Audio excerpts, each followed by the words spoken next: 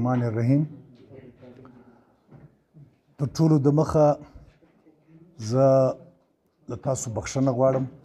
د ناوختۍ او د دې ادبي لیکوال او د پوهانو دانشورانو د تنظیم مننه کوم تاسو دلته ناستو ټولو خلکو ته د احترام سلام کوم نو دا ستاسو ډېره لویه پیرزوینه ده چې موږ ته په دې نظر ګورئ چې موږ به تاسو ته یو څه ووایو د خپل وطن په حواله د خپل تاریخ په حواله د خپلې جغرافیې په حواله یا د خپلې شتمنۍ په حواله دا یو حقیقت دی چې موږ ما په خپله زموږ د کام زموږ د وطن د ډېرو سترو پوهانو سره وخت تېر کړی دی په هغه کې تر ټولو زیاته وخت ما له محترم عبدالرحیم خان مندوخیل سره کمال خان شیرانی سره بیا داسې زموږ یو لوی ټولو په ژوب کې دا ټول پوهان او د وطن ډیر لوی اتلان او مبارزین وو نو لا غوم ډیر څه اوریدلی دي څورې به مزده کړي وي څورې به مطالعه وي نو هغه به بالکل تاسو سره خامخا شریکوو مخکې هم تاسو پرزوینه و په محترم عبدالرحیم صاحب باندې تاس دلته موږ ته بلنه راکړې وه او ډېر یو خوندور سیمینار هم کړی وو هغه کې موږ ګډون کړی وو نو تر ټولو د مخه د بوري دا ستاینه زما فرض ده چې بوری واقعي هم زموږ د تاریخ یو ډیر لرغونی مرکز دی او دلته ډیرو پوهانو ډیرو ادیبانو لیکوالانو هغوی خپل ډېر لوی رول کړی دی د پښتو ژبې لپاره، د پښتو ادب لپاره، زموږ د تاریخ لپاره، زموږ د ثقافت لپاره او ډېر څه تاس خوندي کړي هم دي او زموږ په دې ټولو مرکزونو کې که هغه ژوب دی که پښین دی او کوټه خو بیا زموږ مرکز دی بوره یې پر مخ دی تر ټولو د مخه تاس په تسلسل سره دا شان ساتلي دي او یقینا به دا زموږ د قام لپاره یو لوی اثاثه وي او زموږ د یعنی د تاریخ او د زموږ د وطن د یعنی د ادب او د ژبې د هغې د اساساتو به یو ډېر لوی پانګه وي چې تاسو خوندي کړې ده او دا به بیا وروسته وړاندې هم سي اوس هم وړاندې سوي دي نو زه به دا ووایم چې موږ خو په دې لوی جهان کې په انساني ټولنه کې موږ آرین یو زموږ وطن آریانا دی آریانا کې موږ هغه خلک یو چې د آریانا په خاوره په حدودو کې زموږ دا قام پښتون افغان اوس هم پر اریانا باندې مس دی آباد دی له اریانا ځخه بیا څوک د یورپ خواته کوچېدلي دي چې دا اوس خلک وایي پرنګیان هم دي جرمنیان هم دي دا نور یوګوسلاویا کې هم دي نور په دا کریمیا په دغو علاقو کې په یورپ کې ډېر داسې نسلونه دي چې هغه آرین دي او بیا چې دې خوا ته را کوچېدلي دي یو دغه دی چې دا پارس ته تللي دي چې بیا په پارسیانو په پارسي ژبه یې را پرسېره سوې ده په پارس بلل کېږي بل برت دی چې بیا بارت هندوستان ځینې جوړ شوی دی هغه بیا تر هند خوا ته کوچېدلي دي او موږ په دې اصل مینه باندې پراته یو دغسې زبې هم و لوی زبه سي اول ور اوسوي ده دا یعنی اریک زبه ده د اریانا لومړی قدیمه زبه ده په دې باندې ډیر څه خلکو لیکلي هم دي دا برک صاحب په دې ډیر څه لیکلي دي د هغې ژبې په باره کې د برک صاحب په کتابو کې ډیر کار پر سوی دی بیا دا زموږ ژبه چې بیا یعنی موږ په هغه کې بیا باختري اریانا اریا یعنی ارین یو باختری اوستایی زبه د زموږ چې بیا موږ وایي دا د سنسکرت او د پارسی زبې خلک وایي چې دا خوندې زبې دي او زموږ ماهران پوهان وایي چې نه پښتو یې ګډ سره بنیاد ده دریم سبب دا ولې چې د باختری اوستایی زبې و دا بنیاد دی دا د دې نورو ژبو بالخصوص دا کوردي ژبه، بلوچي ژبه، دا پاميري ژبې، دا دا ژبې ګوا دا د دې بنياد چې دی اوریجن چې دی هغه بنسټ چې دی دا یې ګوا اوستایي باختري ژبه ده نو بختیا هم زموږ د وطن یو وخت کې موږ دغه نوم اوسېدلی دی باختر هم بیا موږ نوم اوسېدلی دی بیا داسې دورونه راغلي دي دا زموږ وطن ته خراسان هم ویل سوی دی خور خورشید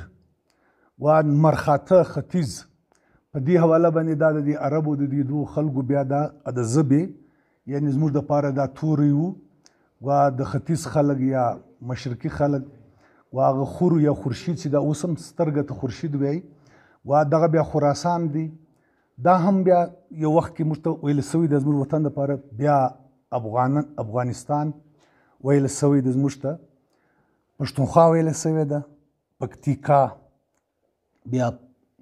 پکتیا پښتونخوا او بیا چې بیا په رسمي تورو کې و افغانستان بیا استعمال شوی دی هغه باندې هم په تاریخ کې ډیر بحث کېدلی سي و زموږ د لوی لوی ماهرانو چې هغو و دغه خبره کړې ده چې ګوا کم څه چې د افغان به دا چې هغه لوی لوی لکه د هیرودوت یا بیا نورو چې هغه کم توري استعمال کړي دي اپوګان اپوګین نو هغه دغه دوی وی چې دغه سکندر چې دلته رالی نو هغه وخت کې د درې سوه دېرش خوا کې را کوچېدلی دی تر شپږ ویس پورې بیا دلته په دې وطن کې ګوادی پاتې سوی دی په دې دوران کې دغه وخت کې د دا خلک بیان کړي دي د هغه په تاریخ په حواله باندې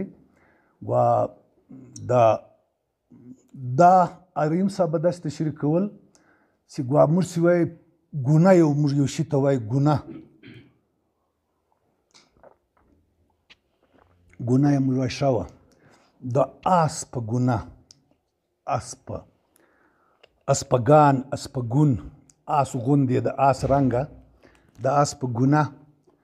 و دا ټایپ دغه خلک دوی وی بیا چې دغه د دا وباد کې دا یوسفزي توري دا هم له دغه راغلی دی دغه سیمه کې دا توري بیسنل سوی دی بیا پر مخ باندې لوی لوی خلکو دې ته ګوا دغه افغان تورې له دې راایستلې دي بیا خو زموږ وطن هم یعنی زر زر پر تیریږو بیا یې ګوادا هغه دی اریم صاحب په خپل څنګه بیان کړی دی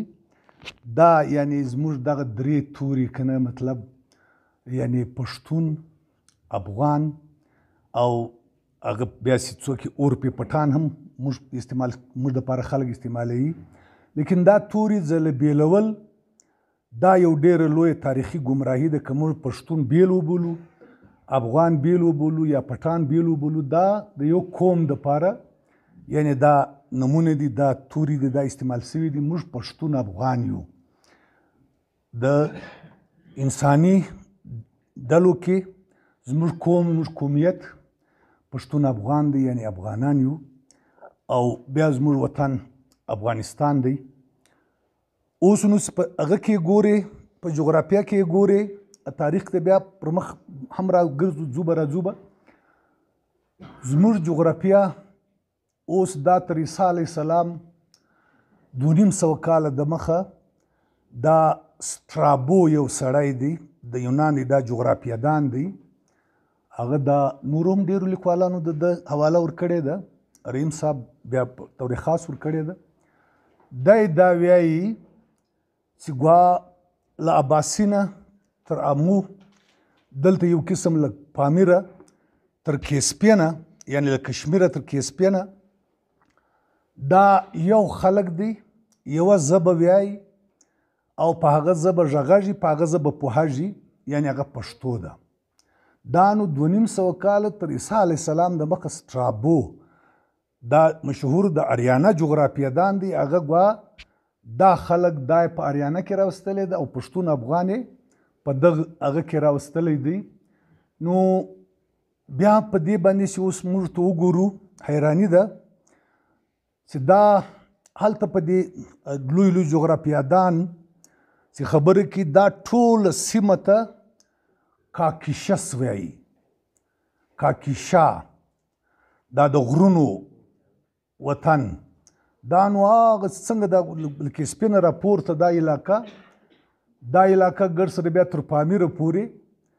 دا پامیر په باره کې دا مشهوره ده بلکې تاریخ دی جغرافیه ده چې یو سل دوویشت سلسلې د غرونو دال ته راغلي دي د پامیر لوړوالی جګوالی دومره دی څومره چې د بیرالکایل ژوروالی دی دا اوس د نت زمانه ده تاسو بیرلکایل ډیپت معلومولای سئ څومره زور دی هغه زورتیا د پامیر د لوړوالي ده دا نو پامیر یعنی بیا لا خو همالیا ورغلې د لدی خو کراکرم ورغلې دي کراکرم دغه غرونه دي د لپنډي د دې له کوچ پورته کیږي دا کراکورم دی دا بالا تللی دی هندوستان ځخه له اخوا له ګنګا او جمناش له کومې یلا کوب بهیږي دا بیا له اخوا چې د همالیا راغلی ده دا هم پامیر ته راغلی ده کراکورم هم ورغلی دی زموږ لوی غر دی داسې له مردانه له پنډۍ له مردانه له څوابۍ او له ملاکنډه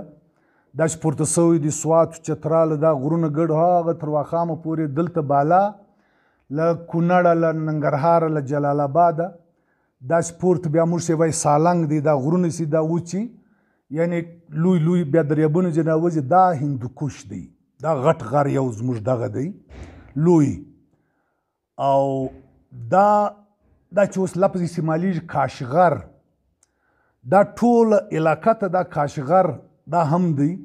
هغه کاکیشا لفظ توری چې ما درته استعمال کې جغرافیه کې دا هغه توری دغه کاشغر دا کاشغر زموږ خپله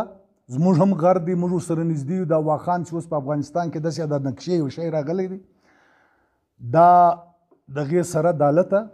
په خو خو زموږ لوی برخه پکې په خپل افغان سلطنت کې هم را شامل و اوس و تر دې حد پورې یو دغه لوی غر دی اندوکوش یو دلته هغه چې دا موږ وایي چې ترکمنستان دی ترکستان دی دا چې له هرات تور غونډۍ ستاسو په نقشه کې وګورئ له دې ځې دلته بندې ترکستان دی له دې ځه داسې یو غر راپورته کیږي دا غر دلته راځي دا موږ چې وایي غور تر غوره پورې مثال داسې بالکل بامیان دی دا اوس چې دا د بودا دا لوی مرکزونه هغه پکې دي مجسمه دا زموږ د تاریخ هم ډېر زورور زورور یعنی زموږ د یعنی بادشاهانو شنشاهانو د شهاب الدین غوري د علاوالدین غوري یعنې موږ د غوریانو د غور د واکمنانو دا مرکز هم دی دا نو بالکل تر دغه ځای سره نه را رسیږي چې بیا دې خواته سره اوړي بیا نو ګوا کابل ته ګوا او به یو خواته د مشرق کابل ته را بهیږي د مغرب ځخه دا هلمند چې موږ وایي هلمند یو ډیر لوی رو دی دا له دغه غره له دی غوره را کیږي یو غټ غر دا دی دته بابا غر وایي دا مې لوی غر دی ډیر لوی بل غر دا دی چې دا موږ سلیمان بولو کوی سلیمان بیا سلیمان کې مهتر سلیمان کهتر سلیمان دا اوس د بلوچ بلوچي ژبه کې موږ کرتر ځینې جوړ کړی دی دا له پارسي کې مهتر لوی لوی سلیمان وړوکی سلیمان کم سلیمان دا په الته بیا په انګریزي کې بیا سلیمان رینجز دي دا د سلیمان سلسلې دي ګړ دي سلیمان غر و ارین صاحب د خدای بشت ارین صاحب سلیمان غر د کچکول پر رنګ جوړ دی کچکول خو نه د ملنګ کچکول تاسو لیدلی دا څنډې یې لوړې دي منځ یې زور دي بالکل دغسې کچکول پر رنګ جوړ دی دا دا داسې تللی دی دا نو هغه دی دا اوس چې زموږ لس بیله ولګیږي تر لس بیلې پورې دلته لاندې کرمانه پورې هغه تر عمانه تر مسکته پورې دا غر تللی دی بیا نو هغه سیمې لکشې داسې دا غرونه را روان دي راپورته کېږي دا موږ خواجه عمران او دا کوژک چې بولو دا سلسله ده دا هغه سلسله ده دراغلې ده بیا دلته چې دا اوس موږ دا د کان مترزي دا لوی د کند غر چې دی لا خو دا سکر غرونه دي دا ډېر غټ غټ غرونه دي دا خپل خپل مقامي نمونه دي پښتو اکیډمي کې بیا ما ډیر کار هم پر وکړ د هغې یعنې ګزټیرونو ځخه مې د دوی دا نمونه شان راویست هغه مقاله تیاره هم ده دا لوی لوی غرونه دي دا داسې راځي راځي بیا سپېره د غره غره پورې د هغه دی واڼه پورې تر دې ځای را پراته دي دا بل بیا دغه دی چې دلته موږ له کومه ځایه چې دا اوس کلات د وډو له دې غرو څخه راپورته کیږي دا غر راځي چې بیا موږ پر بولان رالی دغه عدالت چې دا زموږ لوی غر دی زرغون غر دی خلیفت غر دغه غرونه دي دا غرونه پر مخ په چراواخې بیا دلته چې دا اوس موږ د کولو غرونه دي د تل چوټیالي پخوانی زموږ خپل وطن دی دا چې اوس کشمور دی دا کاهان دی کولو دی دا غرونه دی تر پواتو پورې دا را رسیدلی بیا دا دا نو بیا د ده دا سرونه داسې دي چې بالکل لکه دیوال دا دامان ته ولاړ دی دا اوږد غر چې دی دا سلیمان دی سلیمان میتر او سلیمان یعنی کیتر د سکرتر ځینې جوړ کړی دی هلته په جغرافیه کې ابراهیم صاحب موږ ته را سمجاوه دا د انګریزي ټي سي ده د ټي دا اوږده لکړه چې پرته ده دا ګوا سلیمان غر دی اوس د ټي هغه سر سي دی دا بیا سپین غر دی سپین غر بالکل دغه دی د خاص له مرګلې له مرسی حسن ابدال ځخه دی داسې راپورته کیږي پر مغرب د کوهاټ پر خوا باندې دا سره پورته کړی دا د خوشحال بابا سی مشهور نظام پور دی مثال یعنی موږ سی وای د اټک پل دی اکبر سی دالته کلا د لغه بیا دغه د غر دا سره پورته کیږي دا د خټکو د چراټ اخواته دره د لدی خو نظام پور دی د خوشحال بابا په خوانی علاقې دي سرای دا نو غر داسې د ادم خیل سی ورته پروت دی دا پورته کیږي تر تیرا پورې دلته آی پورته نوې علاقې هم ورسره لګیږي آی دل دې خوا سی غرونه ورغلي دي دلته د سلیمان او د د وش بیا سره ګران سی وا داسې دی د ټیپ په شکل کې دا د سر والا دا نو تر کابل تر ننګرهار تر جلال آباد پورې دا سپین غر دی اوس د سلیمان غره لوړوالی چې دی دا دولس زره فوټه ته رسېږي یو څه کم هلته د خلیفت سر باندې هم بلکل دا زرغون غره د خلیفت د بالا سر د زیارت څخه بالا سي دی دا خلیفت غر دی دا مخ کوټ سره لګیدلی دا زرغون غر دی امردار غر ورته راغلی دی دا بل تکتو دی دا داسې ورغلی دی هغه جالوجي والا د غرو یو عجوبه ده دغه غرونه چې دا دلته لګېدلي دي یو حیراني ده دی وایي سړی بیانولی نه شي په جالوجستان یای دا دولس زره څوکو ته رسېدلی ده د لوړې څوکې لږ کمې هلته د کسې غره دا موږ چې کسا غر وایي کسې غر کسا غر دا ګردې هغه یعنی دا کشمیر هم دغه توری دی دا کاشغر هم دغه توری دا کسی غر هم دغه توری دی و دا بیا د تاریخ په حساب باندې سوکا سوکا بیا کم کم علاقو ته دا څلور لوی غرونه یعنی هندوکش بابا غر سلیمان غر او سپین غر دا ګړ سی تسمار کې دا زموږ ټول پښتون افغان یا دا زموږ اریانا زموږ خراسان زموږ افغانستان موږ پښتونخوا دغه دا زموږ جغرافیه ده اوس نو ملګرو دې ته یو حیرانی ده د قدرت پر موږ باندې مهرباني ده چې له دې غرونو ځخه دا اوس یو سوال ده ما ته مخکې نه معلوم اوس په دنیا کې تر ګردو یو لوی مسله دا ده چې د خوږو اوبو ذخیره ډېره کمه ده دا دا زموږ دا ګلیشرز چې بالا دا د واورو غرونو ولاړي غټ غټ دا یو لوی سورس دی داسې بارانونه هم لیکن دا یو ډیر غټ سورس ذریعہ ده دا نو دا د لدې ځسه دا موږ ولګه ګنگا وتلې د هاغه د هندستان په اخوا باندې جمنا وتلې دا هم ډیر لوی لوی دریابونه دي بیا نو دا زموږ لوی باسین دی دا هغه د دروي سو میله غوندي تاسو به ایگزیکټ بیا معلوموي د دې اوږدوالی دی ډیر غټ یعنی اوږد رو دی یعنی دریاب دی بیا ها خواته یعنی عمود دی هغه بیا دالته په سر کې ما یو ځای ویل چې دا دومره سره راغلي دي په درس مله کې دالته څو ملک سره لګیږي یعنی هندستان راغلی دی لدی خو موږ ما کوم وطن ورغلی دی اوس پاکستان دی یعنی افغانستان دی ما کوم آزاد لا خو هند ورغلی دی لا خو تبت ورغلی دی چین ورغلی دی روس ورغلی دی بیانو دغه د نور یعنی دا ګرد په دا ګرد په درس مل کې زننه دوی سره لګي دومره دا سره نږدې سي دا سلسله بالا دا دا چې اوس پاکستان په ځان کې بولی دغه ما یو پارون قبل روز ویل دا اول زره مربع میله د واورې ګلیشرز دي او دا سینو هغه افغان پر مان په سمار کې تاسو بیا ګورئ دا څوري دي اوس وی د خوږو اوبو وسیله ذریعہ ګر سره ډېره وايي کمېږي دا یو لوی نعمت دی د نړۍ د انسانیت دوی دا وایي چې که دا پر موږ کمېږي دا نو خو سمندر دی خو ترخې اوبه دي بیا بې برابرې دا نو زموږ له خپل وطنه چې موږ اسمار کو یو خو دغه لوی اباسین دی چې راوتلی دی هغه دی له ګلګت بلتستان چې دا اوس موږ ته وایي سکردو ځخه دا را روان دی دا مختلف شخې دا اوس دوی ولې انډیا په خپل داسې یو شاخې ټنل ورته راباسي ځان خواته اړوي بیا نو د هلته مثال دا شاخونه یې له هغه ځای را روان دي دا را روان دي لاندې راغلی دی چې دی دلته یې اټک ته را رسېږي دا زموږ چې د اکبر بچا کیله ده له پاسه دته نو بیا د سوات یو ډېر لوی رود دی دا تاسو په دا اوس موسمو کې ولې د سوات دریا ورځي دا حالت په پنچکولا ده دا وراځي دا دلته را بهیږي دا لاندې راسي هلته له پاسه ته اوس دا ګوره څومره لوی کیچمنټ ایریا ده دا پنځو زره سکویر مایل علاقه ده کیلومتر نه دا کابل ریور سي پر پېښور راوځي دا پنځو زره سکویر مایل علاقه درنیولې ده په دې کې اوس د ګوره په دې کې دا لوی کونړ چې دی له چترال بالا نورستان چترال کاپیرستان له دې څخه دا کونړ را روان دی دا هم ډېر مست رود دی دا را روان دی دا دلته د جلال آباد ته راوځي دا دلته بل علي شنګ دی بیا الینګار دی دا هم کټ کټ دریابونه دي بیا بنشیر دی دا هغه د مشرق له خوا دا راوځي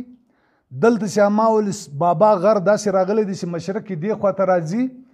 دالته بیا یو دریاب د ځینې راوځي چشم چمچمست ورته وایي دا داسې له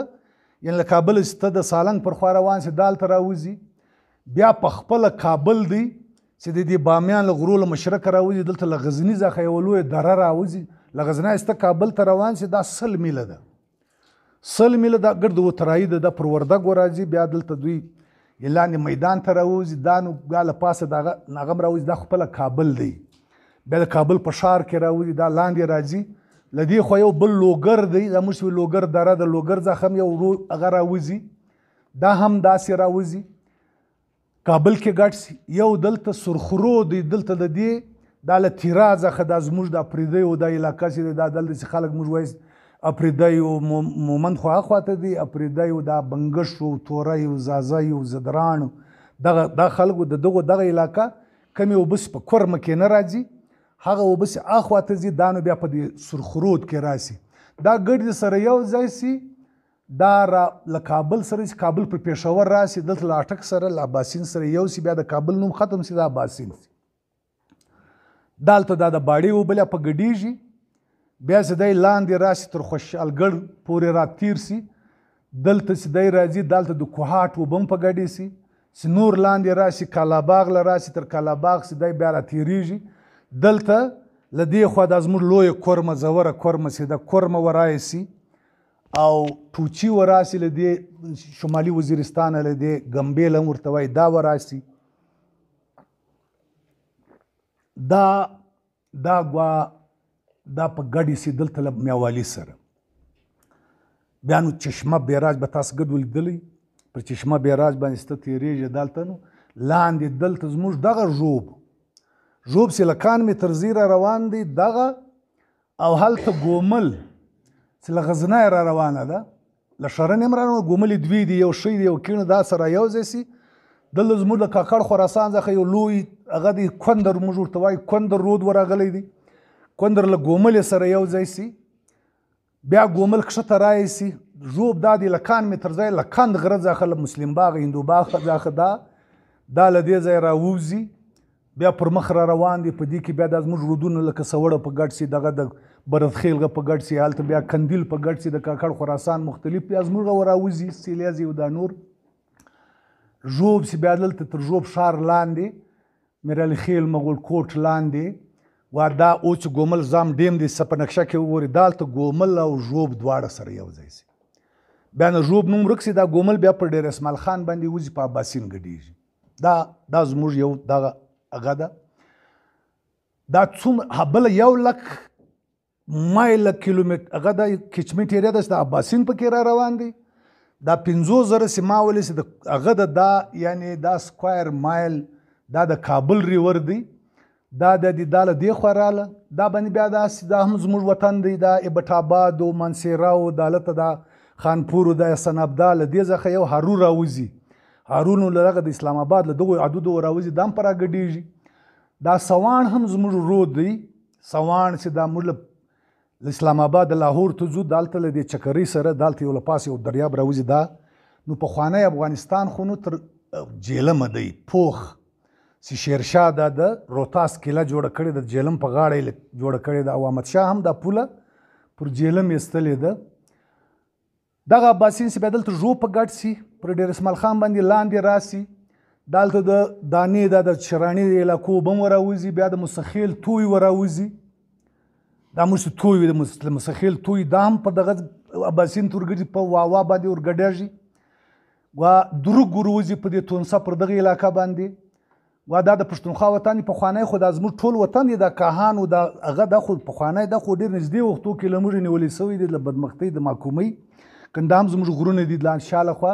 داسې پر کشمور دا اوبه وروځي دا خیر دورې ورځي دا دورې لاړې سي دلته دا ستا سلمبارو دا سیهڼ یعنی له مرغې سې راونه سي دا اوبه پر دې خوا را روانې دي لمسه خېل داسې کمې اوبه نه اوړي هغه دې خوا ته را روانې دي دلته هغه دي ستاسو له سپېره راغه را روان سي سپېره راغه باندې هغه خاص ځای له ما ځای نوم هېر له دې ځایه ځخه دغه رود دا چې بیا دلته له پاسه راځي دلته پر بوري راځي له پاسه دا مړی رود راځي له پاسه انمبار راځي لاندې سیهڼ سره یو ځای کیږي بیا نړې سي راځي دا ګړد دا اوبه مخ پر سوی ورواني دا د نهړ یعنی روح دی دا مرسی ناډیګا جورته وای اوس بلوچستانو ګرسه خپل نوم ورکړي دا نه هړ روح دی نه هړ دی ګرسه نه هړ د غورغشت په زمنو کې غورغشت چې دی غورغشت موږ په ډیرو قدیمو ټبرونو کې دی چې پښتون افغان جوړیږي په دوه درې څلورو کې غورغشت دی د غورغشت لاندې بیا د دانی ټبر دی د دانی ټبر بیا ځله درې نور ځینو جوړ سي کاکړ سي نهړ سي پڼای سي دا نهړ پڼای او کاکړ دا نهړ پر دغه علاقه پروت دي ټول چې دا اوس دوکۍ ده او له دوکۍ سره دا هغه دی دا مری بوکټي چې اوس پر پرته ده دغه علاقه دا ګرد نهړ علاقه ده دا علاقه ته نړیڅۍ هم دالته ده دا نهړ دی اوس نو دا وبه دغه ورغې هلته د که تاسو فکر کړی دا هغه وبه هم وراسي هغه د زیارت والا دا چې اوس موږ ماڼګي ډیم جوړوو دغه دا وبه پر مخ پر شاره ګلار چې د هرنایي او د دې ګردو زرغونه غره د لوی لوی ناوې پکې راسي دا وبالته په سپین تنګي ور وځي له دې وبو سره یو ځای سي په نهړ باندې نهړ ګاج سي دی ورته وایي هغه ګیټ سي دی دې باندې ورسي دا نو پر کڅۍ ور پر سیوي ورځي پر کڅۍ ورځي دا کڅ ګنداوا دا زموږ تاریخ ډیر لوی لوی مرکزونه په خواني اوسېدلي دي تر ډاډر پورې دا دالت لاندې ګر سره تر دا دا جل دی دا ګر علاقې دا بالکل دغه لمنې دغه تر اباسین رسیږي دا بالکل زموږ افغان سي دا اوس ګور دلته هغه راغلی دی په هغه کې راغلی دی یار بخښنه غواړم زه په کرسۍ کې کښېنم که ستاسو خوښه یي دا پښې مې خوږېږي ها دا شای بیا کښته کړه که نه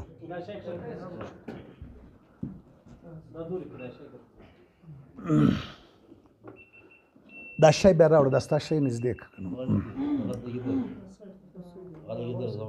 ها دا دلته چنګیز پر موږ باندې ګوره دا زموږ ډېر لوی حکمرانی سوي دي پخوانی ډېرې پخوا مطلب ګر سره چې دا سکندر راغلی دی هم و زموږ د تاریخ تر ګرد لوی خبره دا ده چې ګوا دا هغه د ایران یعنی پر دې سیمه چې مخکې یار د سکندر راغلی دی د سکندر هغه وخت کې وا چې کم دارا دی د اخیری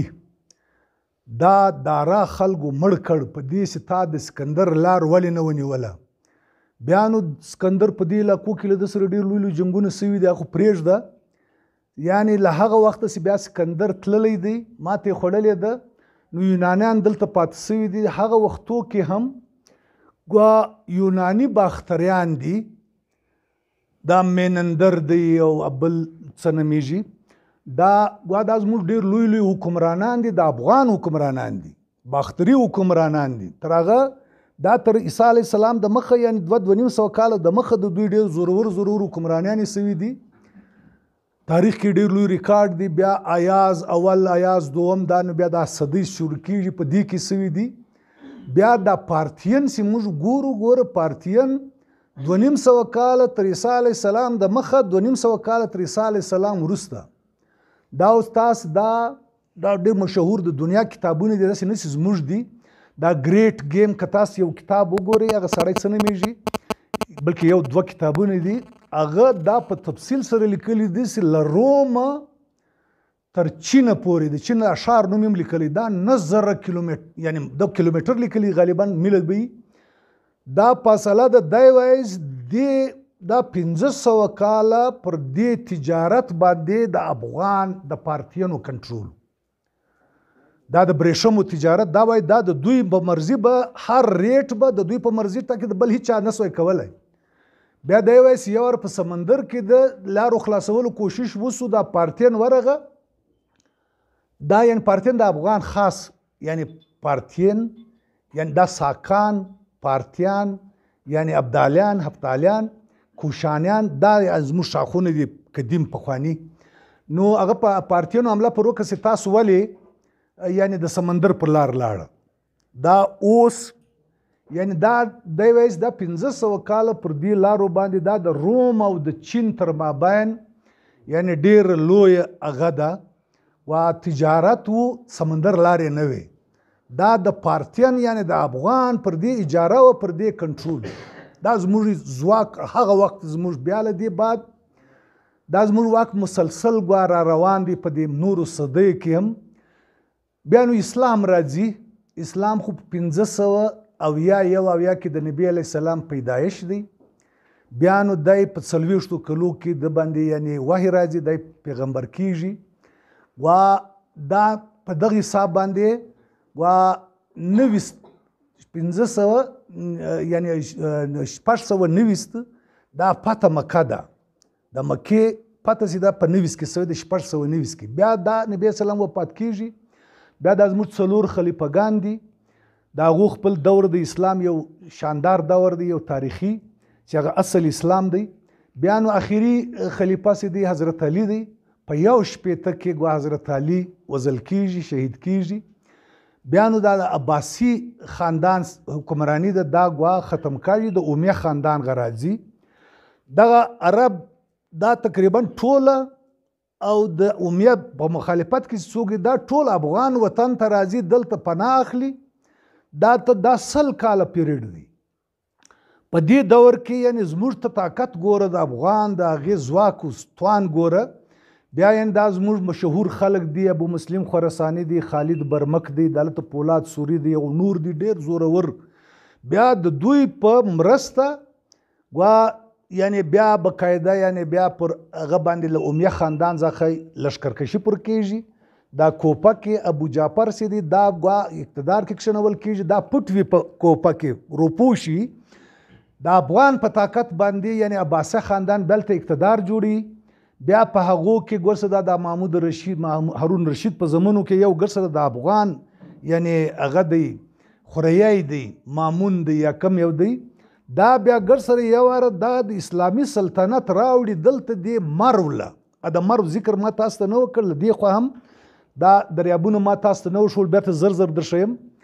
وا دلته د کوټې د کولو یا د سپیره راغه د موږ سرخا بول دا وبه لپاسه د پښین وبه د پښین هغه موږ ته وایي لوړه دا وبه د کوټې د کولپور ځخه پر دی خو دا وبه د سرخاب وبه دا ګډې سره یو ځای پر شوراوک لاړ سي دا لته د مستونګو د شررو دا مورایز دا او په شوراوک باندې دا اصل کې دا ریګ دی دا وزي نه خو بیا په زندکه لاندې به دا همو جیل ته وزي دا ایران سره چې دا زموږ په تنازع کې دي بل دا کدنای دي چې د توبې غرونو د توبه کاکړي او د توبه څګزیل غرونو سي د مغرب پر خوا باندې یعنی د شمال مغرب پر خوا سي روزي دا کدنای دي بل دالته ارغسان د یو غټ رو دی دا هم وروزی له دی خوا بل بیا خاص غزنی له خر لږ را لاندې د مکور له دغه جنډې له دغه علاقې تیرنک تیرنک ورته وایي ډېر مشهور دریاب دی دا پر له پاسه له دې کلاتو پر دې علاقه باندې راځي پر زابل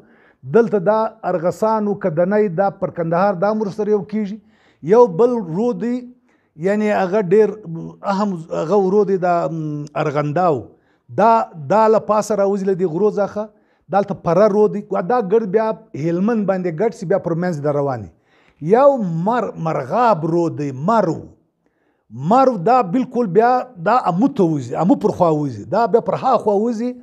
مرغاب هم ورته وایي مر هم ورته وایي دا ابو مسلم خراساني د دغه علاقې دی دا مرو دوی وایي د تاریخ دومره حسینه علاقه ده چې دې ته به ملکه دنیا بولي کوین اف د ورلډ دا دومره آباد او دومره حسینه او دومره زرخیزه او دومره یعنی هغه بعد دته ملکه ویلې ده د ټوله دنیا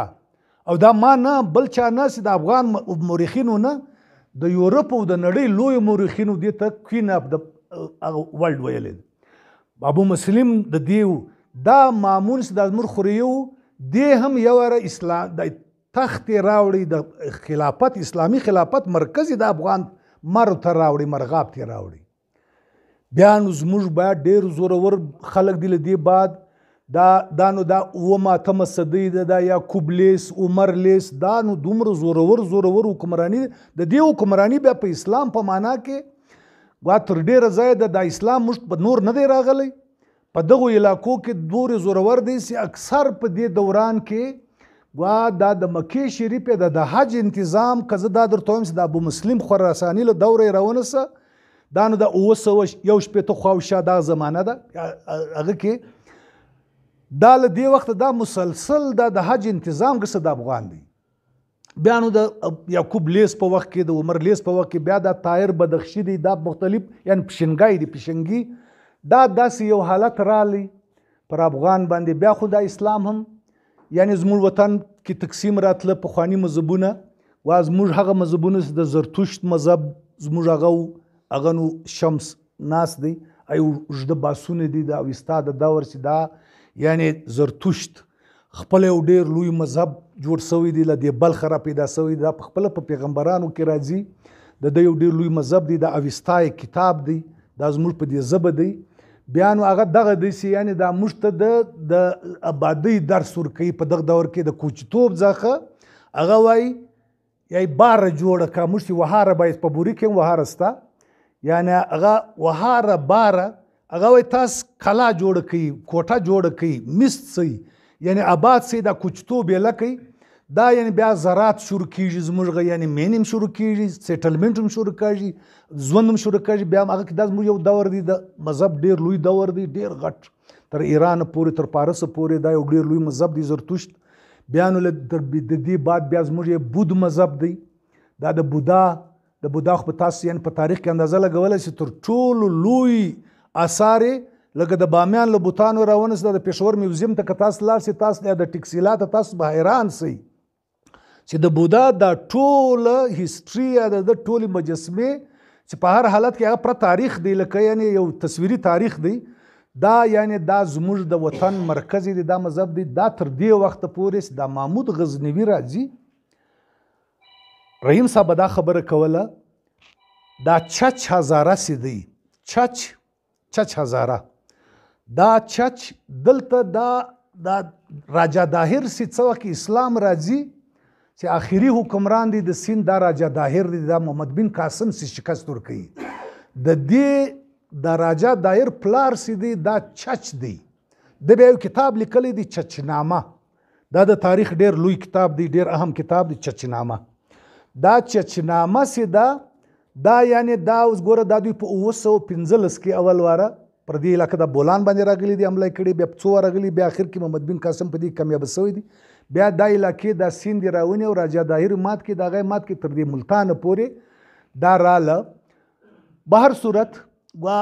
دا چچ خاندان او دا اوس په اسلام آباد کې هم داسې اغسته دا کابل شاهان ډېر زموږ زورور حکمرانان دي په کابل باندې د حکمرانۍ کابل شاهانو کې ډېر مشهور مشهور خلک دي او دا یعنی ډېر زورور زورور هغه دي دې کې دا تر محمود غزنوي د عمله کوي د پلار دی الفتګین